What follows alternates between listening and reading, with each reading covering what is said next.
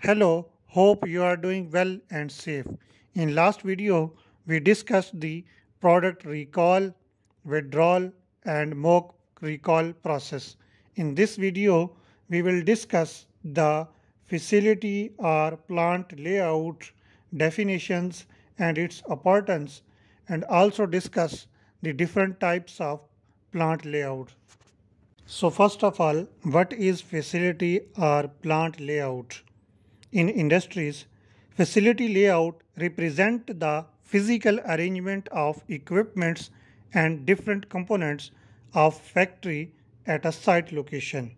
Simply to say, it is about how an industry will arrange of different equipments, raw material storage location, inventory storage, tool rooms, maintenance rooms, workers, amenities, etc. at factory location. Such arrangement layout are called facility layout or plant layouts. Now types of layout. There are four types of layout. The number one is process layout. The number two is product layout. And the number three is fixed position layout. And the number four is cellular layout. First of all, we discuss the process layout or functional layout. Keep in similar machines and similar operations in one place is called a process layout. In process layout, machines are arranged according to their functions. This layout is commonly suitable for non-repetitive jobs. Such type of operations facilities are grouped together such as lathe will be placed at one place, all the drill machines at another place and so on.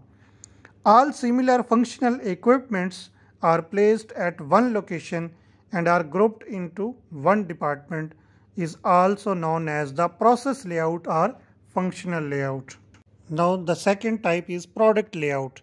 Product layout is also known as a line layout.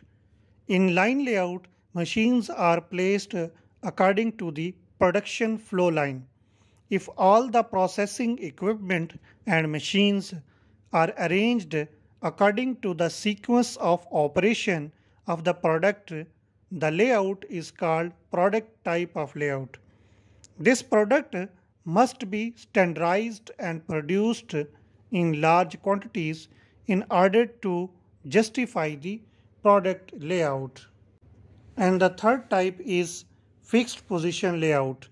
Major component remain in a fixed location.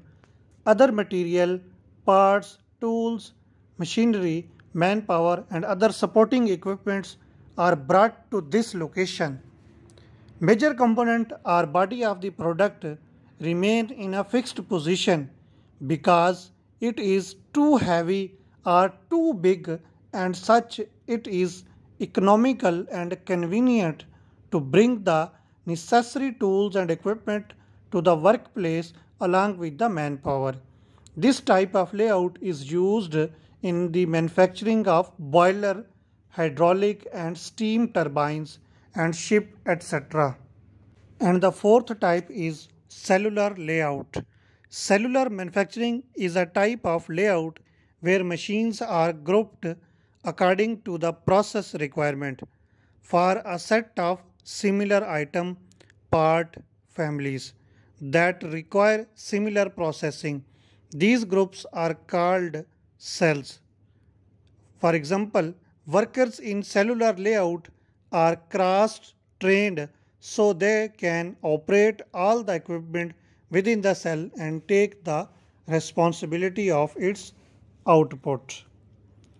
Hope you will find this video very helpful. Thank you for watching. Please subscribe to our channel for upcoming videos.